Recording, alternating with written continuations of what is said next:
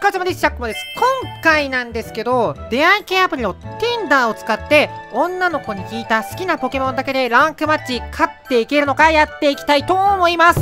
はい。Tinder やってる女の子がどれくらいポケモン知ってるのか知らんけど、あんまり知ってそうなイメージはないんですよね。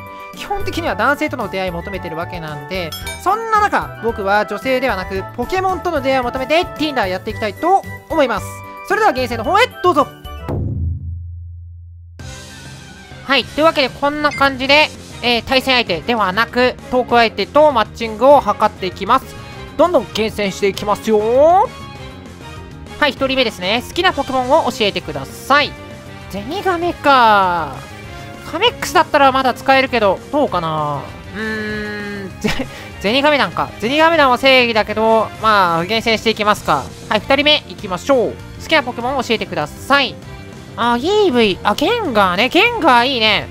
あ、でも、ゲンガー元カノに似てるから少しピエン。えー、じゃあちょっと元彼何似てるか聞いてみましょう。ビジョンか髪型だけやろ、それ。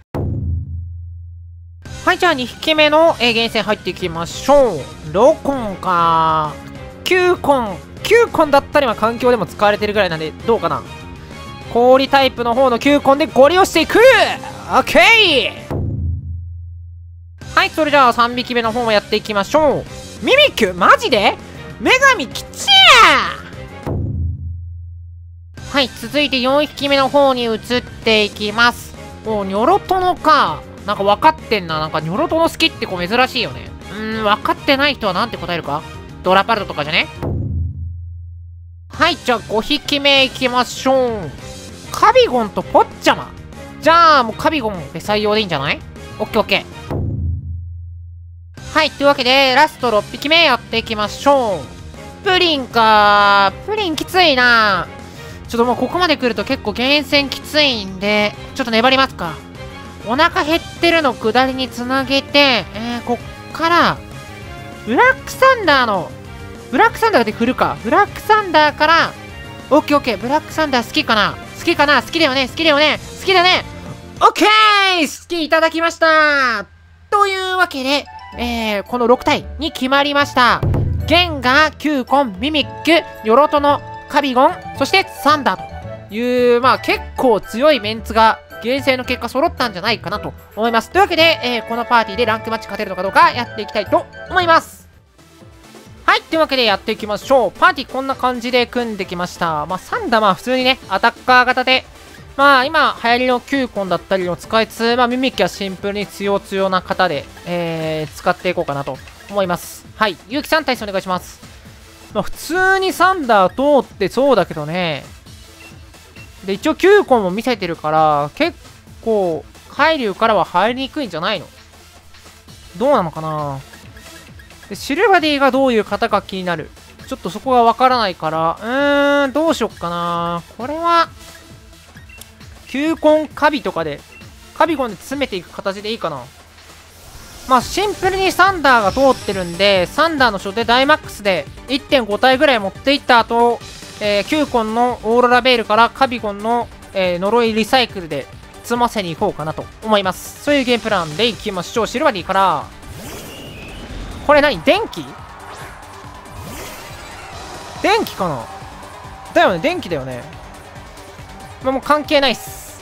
関係なくしていきます。でまあおそらく角煮じゃない ?HD とかガガツガツに振られてたらやばいけどさすがに角煮ぐらいは取らせてくれそうだけどな。どうなんでしょうか。バイジェットからこれどんなもん入るかだよな。いや硬マジ！ガツガツやん。ガツガツに振ってないこれ。保護風えそういうこと？完全に対サンダー用のシルバディ連れてきてるやん。ダイジェットして。オッケーダメージ。一応今回のサンダーはライジングボルト型なんでエレキフィールドは展開しておきたいんでステゼリフ。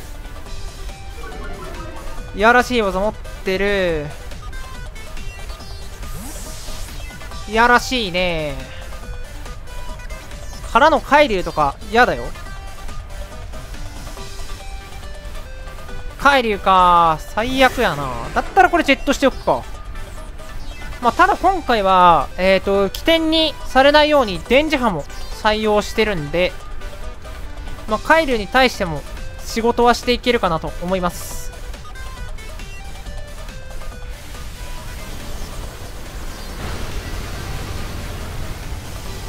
まあ、耐久はまあまあ普通だね。普通ぐらいだと思ってますけど。丸助やっぱ強いな。さ、竜舞。いい。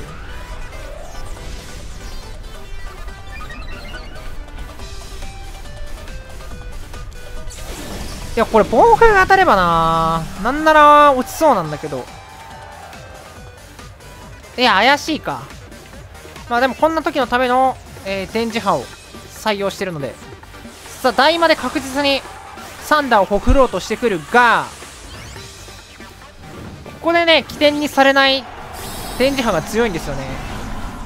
羽休めを切る代わりに、ここの枠に電磁波を入れることによって、まあ、相手のえー、サンダーに強めのポケモン、強めかどうかっていうか、サンダー一発伝えて切り返してくる、ダイマックスで切り返してくるポケモンに対して電磁波を入れていき、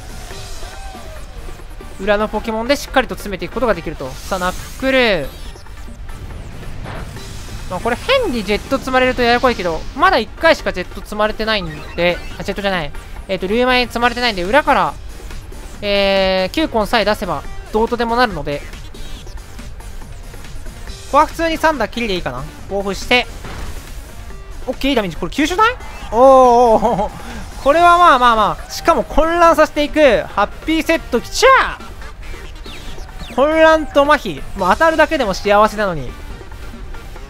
まあさすがにね。さすがにお預けか。さすがに自称はお預けね。オッケーオッケー。いいでしょ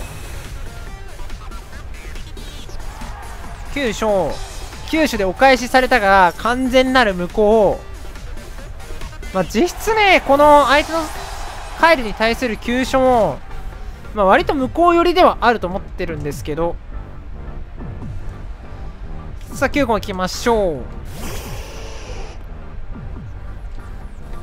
うしっかりと吹雪を打っていきますこれは悪くないんじゃないかな裏の、まあ、シルバディも9個でしっかりと倒せる圏内には入ってると思うんで、まあ、ラスト1体が、えー、キューコンとカビゴンで倒せない相手じゃなければ、進めていくことができるんじゃないかなと思いますが、オッケーオッケーオッケー。いい感じ。さあ、おそらくラス1から入ってくるんじゃない？シルバリーはもう虫の駅だから、キューコンから上からしばかれて終わるだけなんで、それ綺麗一番いやらしいポケモン来てしまう。一番いやらしいポケモン来たな。まあアンコールを今回備えてるんで。んーまあオーロラベールからアンコールでただしカプレヘに打点はないと。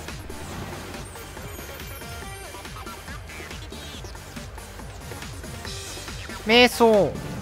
瞑想か。瞑想だとあんま良くないね。瞑想か。どうしよっかなこれ。食べ残し？食べ残しか。どうしよっかな。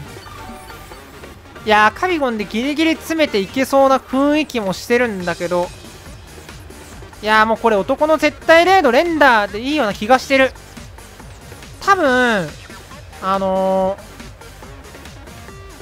3回か4回ぐらい打てると思っていてそこからしっかり一発で当てていく。ま、こういうことですよ。皆さん。しっかりと女の子から授かった。授かってはない。授かってはないけど。うん。女の子からね教えてもらったポケモンで勝っていくっていうことはこういうことなんですよ。はい。